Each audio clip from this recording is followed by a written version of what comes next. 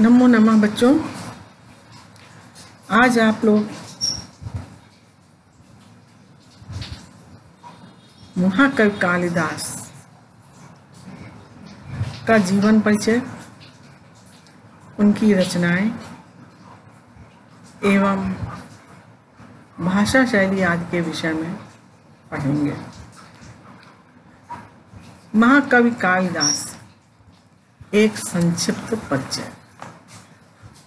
महाकवि कालिदास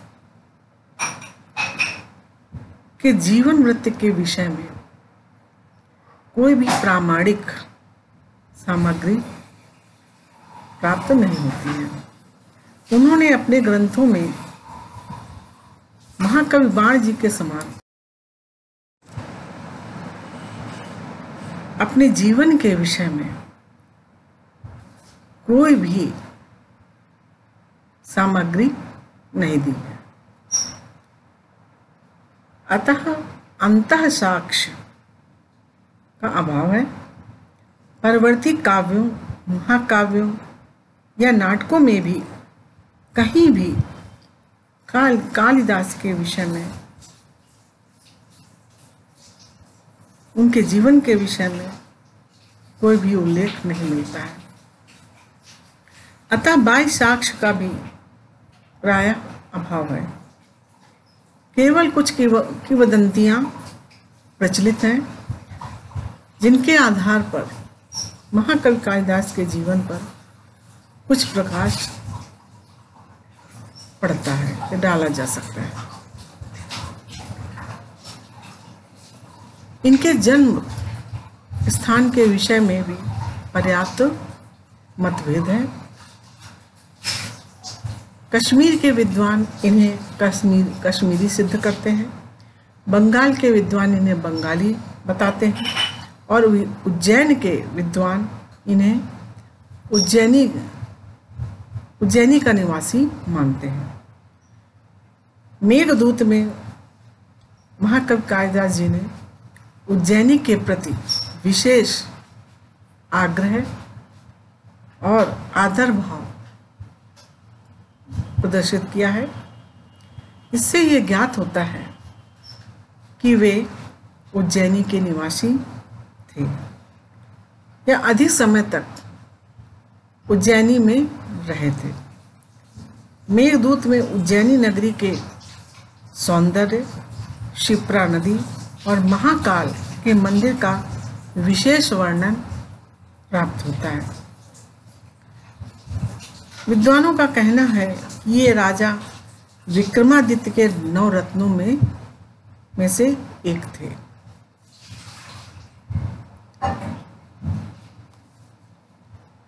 इनके विषय में यह मत है यह भी है कि उज्जैनी के राजा भोज के सभासद थे। एक कथा के अनुसार उनका संबंध श्रीलंका के राजा कुमारदास 500 ईस्वी से बताया जाता है। इनके विषय में अनेक किवदंतियाँ प्रचलित हैं, किंतु जो किवदंती अधिक चल पड़ी है या अधिक प्रचलित हो गई है, उन, उसके अनुसार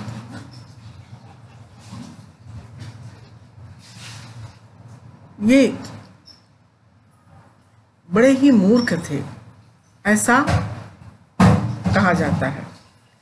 एक बार किसी राजा की कन्या ने, जिसका नाम विद्योत्मा था,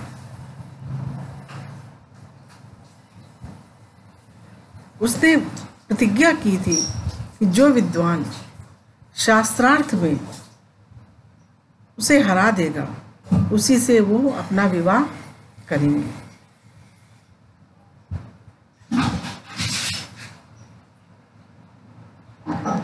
कहते हैं कि उसने अनेकों उद्भट विद्वानों को हराया, जिससे पंडित समाज को अपमानित होना पड़ा। अतः उन्होंने एक ऐसा मूर्ख खोज निकाला, जो उसी डाल को काट रहा था, जिस पर वो बैठा था। उन्होंने उसे ले जाकर राजकुमारी के समक्ष प्रस्तुत किया और कहा कि आज पंडित महाशय का मौन व्रत है। अर्थात आज ये मौन रहेंगे। अतः ये संकेत द्वारा ही शास्त्रार्थ करेंगे। विद्योत्मा ने इसे स्वीकार कर लिया। शास्त्रार्थ शुरू हो गया। राजकुमारी ने एक उंगली उठाई, एक उंगली दिखाई। उसके जवाब में मूर्ख ने दो उंगलियाँ दिखाई। फिर राजकुमारी ने पाँच उंगलियाँ दिखाई। तो उस मूर्ख ने उत्तर में मुट्ठी दिखाई। उनके प्रश्नोत्तर का जो भी अर्थ हो रहा था, हो, अर्थ रहा हो, किंतु राजकुमारी ने अपनी पराजय स्वीकार कर ली और उस मूर्ख पंडित से उसका विवाह हो गया। ऐसा कहा जाता है कि विवाह के बाद एक दिन मूर्ख कालिदास अशुद्ध शब्दों का उच्चारण कर गए, जिससे उनकी धर्म पत्नी विद्योत्मा ने मूर्ख कह करके उनका बड़ा अपमान किया। इस अपमान से पीड़ित होकर वे घर से बाहर निकल गए और अपना प्राण त्यागने के लिए सरस्वती कुंड में कूद पड़े, किंतु इनकी मृत्यु नहीं हुई। उन्होंने काली देवी की उपासना की और सरस्वती जी ने उनको वरदान दिया, जिसके फलस्वरूप जिसके फलस्वरूप कालिदास इतने प्रकांड विद्वान हुए। कहते हैं कि विद्वान हो जाने के बाद वे जब घर लौटे तो अपनी पत्नी से कहा, अनावृत्त कपाटम द्वारम दे अनावृत्तम कपाटम द्वारम देगी पत्नी ने उनकी आवाज़ पहचान कर उत्तर दिया अंदर से। अस्ति कश्चित वाग विशेष। अस्ति कश्चित वाग विशेष। कुछ वाणी में विशेषता आ गई है।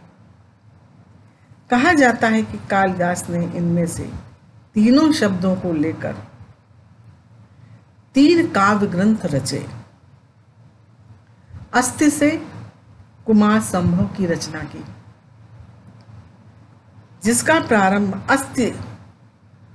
अस्थि उत्तरस्याम दिशि, देवात्मा हिमालयो नाम नागादि राजा आदि श्लोक से होता है। कश्चित से मेघदूत का निर्माण किया था, मेघदूत की रचना की। कश्चित कांता विरह गुरुणा स्वाधिकार, अधिकारात प्रमत्ता। और वाग। वाग शब्द से रघुवंश की रचना की। वागार्थिव्यू संप्रक्त वागार्थ प्रतिपत्ति। इस प्रकार अस्ति, कश्चित वाक विशेषण। इन तीनों शब्दों से उन्होंने तीन रचनाएँ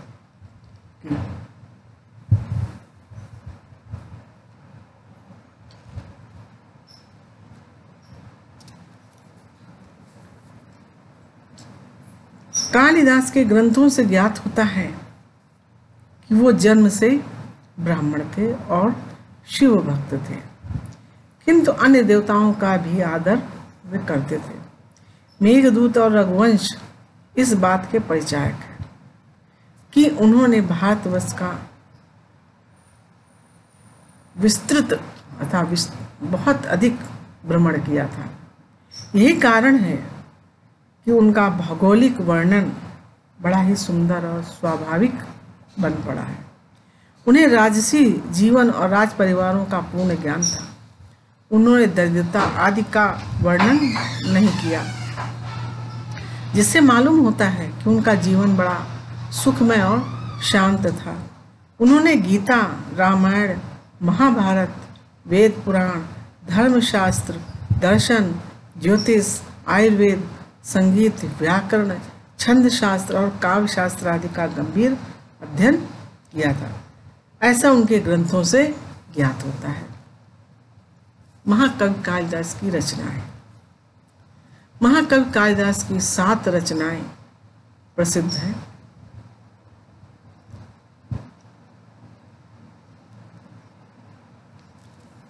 तीन नाटक हैं। मालविकाग्नि मित्रम जो पाँच अंकों का नाटक है।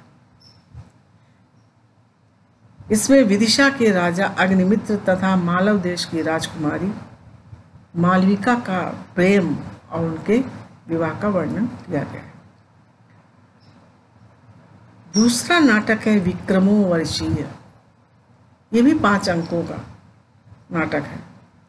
इस, इसमें राजा पुरुरवा, पुरुरा, पुरुरवा तथा उर्वशी की प्रेम कथा और उनके विवाह का वर्णन है। तीसरा अंतिम नाटक, प्रसिद्ध नाटक, अभिज्ञान शाकुंतला,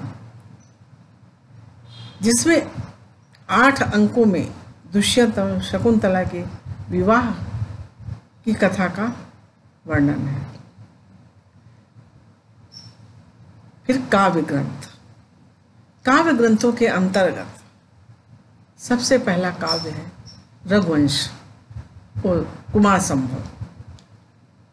कुमार संभव, ये सत्रह सर्गों का महाकाव्य है, जिसमें शिव पार्वती जी के विवाह, कुमार स्वामी कार्तिकेय का जन्म तथा कुमार द्वारा तारकासुर के वध की कथा वर्णित है। किंतु ये अधूरा ही उपलब्ध होता है। दूसरा प्रसिद्ध महाकाव्य रघुवंश है। ये उन्नीस सर्गों का महाकाव्य है। इसमें भगवान रामचंद्र जी के पूर्वज रघु के जन्म से लेकर उसके बाद के सभी राजाओं का का वर्णन किया गया है। गीत काव्य या खंड काव्य गीत काव्य या खंड काव्य के अंतर्गत ऋतु संहार कालिदास जी की ये प्रथम काव्य कृति है। इसमें छह ऋतुओं का मनोरम चित्रण, मनोरम वर्णन किया गया है। दूसरा है मेघदूत। यह एक खंड काव्य है। इसमें एक वियोगी यक्ष का अपनी विरहिणी पत्नी के पास बादल द्वारा संदेश भेजने का तथा बादल को दूध बनाकर भेजने का बड़ा ही विशद, मार्मिक और सुंदर वर्णन किया गया है। महाकवि कालिदास का समय।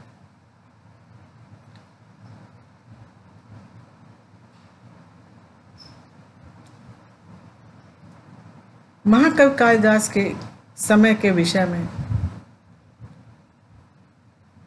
किसी भी प्रकार की प्रामाणिक सामग्री नहीं मिलती है।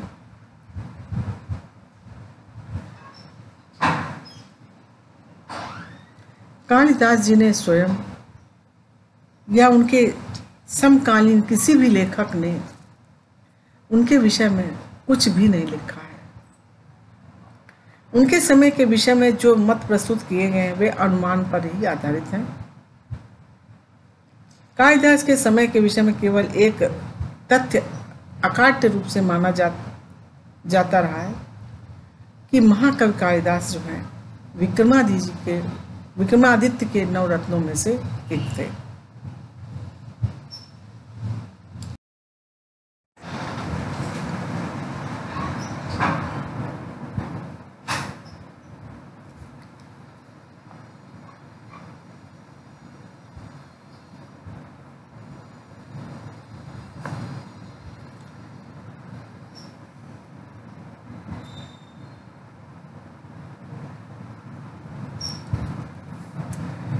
विक्रमादित्य का समय। विभिन्न विद्वानों ने विभिन्न कालों में निर्धारित कर कालिदास का स्थित काल छठी शताब्दी ईस्वी से लेकर प्रथम शताब्दी ईस्वी पूर्व तक दोलायमान कर रखा है। उनके स्थित काल के विषय में निम्न मत प्रस्तुत किए गए हैं। पहला चतुर्थ पंचम शताब्दी ईस्वी या गुप्तकालीन मत। दूसरा द्वितीय शताब्दी ईसा पूर्व का मत तीसरा है षष्ठ शत, शताब्दी ईस्वी का मत। चौथा है प्रथम शताब्दी ईसा पूर्व का मत।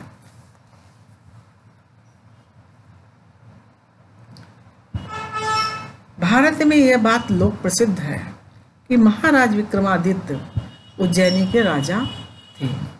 उन्होंने शकों को परास्त कर अपनी विजय के उपलक्ष्य में सत्तावन ईसा पूर्व में विक्रमी संवत का प्रवर, प्रवर्तन किया। सोमदेव कृत कथा सरित सागर में उज्जैनी के राजा विक्रमादित्य का उल्लेख है। यह ग्रंथ गुढ़ाढ़ कृत वृहत कथा पर आधारित है। गुढ़ाढ़ का समय लगभग अठहत्तर ईस्वी माना जाता है।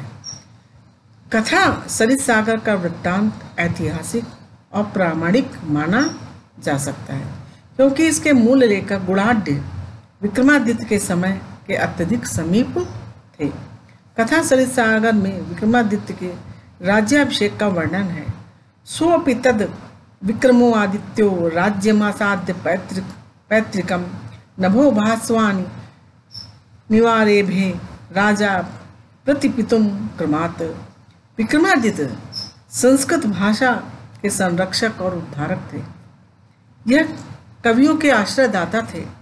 अतः महाकवि कालिदास भी इन्हीं के आश्रय में रहे होंगे। अर्थात महाकवि कालिदास का आश्रयदाता भी यही रहे होंगे यही रहे होंगे। महाकवि कालिदास ने कितने ही अपाणनीय प्रयोग किए, इससे ज्ञात होता है कि महाकवि कालिदास उस समय हुए थे जब पाणिनीय व्याकरण पूर्णतया प्रतिष्ठित नहीं हुए, हुआ था। कालिदास की शैली से ज्ञात होता है कि उनके समय में संस्कृत बोलचाल की भाषा थी। पतंजलि 150 ईसा पूर्व के समय में संस्कृत बोलचाल की भाषा थी। ये महाभाष्य के सूत्र और व्या, व्याकरण के शास्त्रार्थ से सिद्ध है। महाकवि कालिदास का समय उनके समीप ही होना चाहिए। प्रयाग के समीप भीटा ग्राम में एक मुद्रा प्राप्त हुई। हुई है। इसका समय ईसा से पूर्व प्रथम शताब्दी माना जाता है। इस मुद्रा पर वृक्षों को सींचती हुई दो कन्याएँ तथा एक मृग का पीछा करते हुए एक राजा का चित्र अंकित किया गया है। विद्वानों का यह निश्चित मत है कि यह चित्र महाकवि कालिदास के सुप्रसिद्ध नाटक अभिज्ञान शाकुंतल के शाकुंतल के प्रथम अंक का है। इसलिए यह माना जाता है कि यह नाटक इसमें प्रथम शती ईसा पूर्व से पूर्व अवश्य लिखा गया होगा। इस विवेचना के आधार पर महाकवि कालिदास की स्थित काल स्थित काल प्रथम शताब्दी ईसा पूर्व ही प्रमाणित माना जाता है। महाकवि कालिदास की शैली।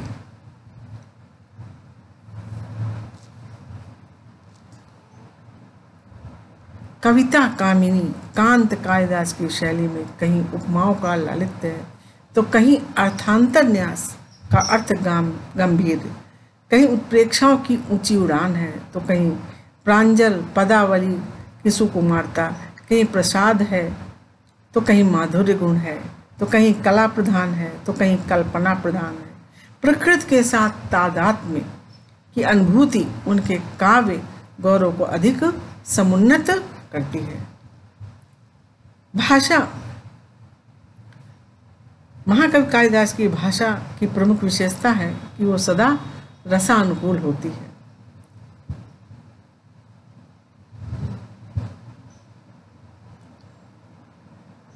उनकी भाषा सरस, सरल और मनोरम है। लंबे समासों का प्राय अभाव है। कालिदास का यह शब्द लाघव उनकी कलात्मक अभिरुचि का प्रचारक है। भावाभिव्यक्ति। कालिदास ललित भावों के कवि हैं। उनके काव्यों में कल्पना की ऊँची उड़ान, मनोभावों की मार्मिक अभिव्यक्ति और भाव भाव भाव सौंदर्य का पग पग पर परिलक्षित होता है। रस। महाकवि कालिदास रस श्रृंगार रस के कवि हैं। वे संभोग और विप्लम्ब दोनों प्रकार के श्रृंगार के वर्णन में सिद्ध हस्त हैं। करुण रस के भी कतिपय वर्णन अत्यधिक मार्मिक बन पड़े हैं। वीर रस के प्रसंग यद्यपि कम है, फिर भी उनमें कालिदास की योग्यता किसी प्रकार कम नहीं है। अन्य रसों के वर्णन में भी वर्णन अत्यल्प है। गुण और रीति। महाकवि कालिदास रस सिद्ध कवि हैं। उनकी लोकप्रियता का प्रधान कारण उनके प्रसादपूर्ण और परिष्कृत शैली है। उनके सभी ग्रंथ वैदर्भी रीति में लिखे गए हैं। मधुर शब्द, ललित रचना, समासों का सर्वता अभाव है। या छोटे समास पदों का होना यही वैदर्भी रीति की विशेषता है, यही वैदर्भी रीति है। कालिदास की शैली में प्रसाद माधुर्य और ओज, इन तीनों गुणों का समावेश है। अलंकार। महाकवि कालिदास के काव्यों में अलंकार विधान अनायास सिद्ध है। पद पद पर अनुप्रास, उपमा, रूपक, दीपक अर्थांतर न्यास और उत्प्रेक्षाओं के दर्शन परिलक्षित होते हैं, या दर्शन होते हैं।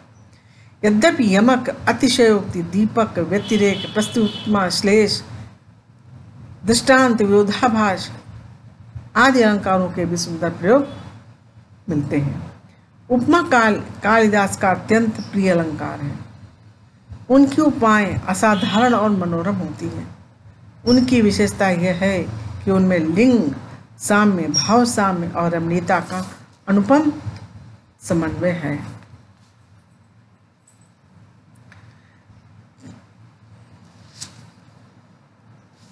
नंदिनी गाय, राजा दिलीप और राजा सुदक्षिणा के बीच वैसे, वैसी ही शोभा पा रही है, जैसे दिन और रात के मध्य होने वाली रक्तवर्ण संध्या।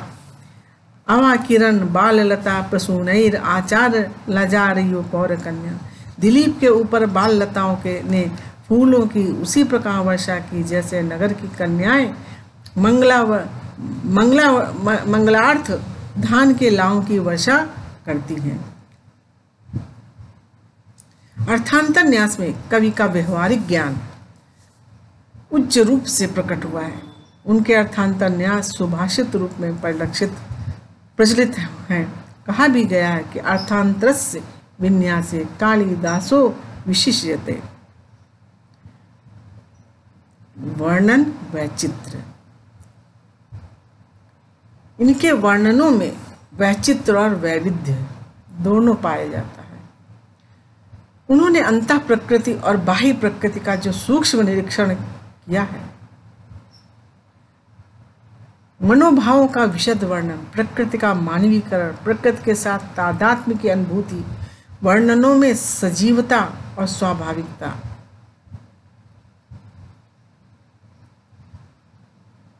कला में कल्पना का संयोग और सरल भाषा में भावों की अभिव्यक्ति आदि गुण कालिदास के वर्णन वर्णन, वर्णनों की विशेषता है। शांत काल में सूर्यास्त का बहुत ही सुंदर वर्णन मिलता है। संचार पूतानि दिगंतराणि कृत्वा दिनांते निलयाय गंतुम प्रचक्रमे पल्लव रागताम्रा प्रभा प्रतंगस्य मुनिश्च धेनु। छंद योजना।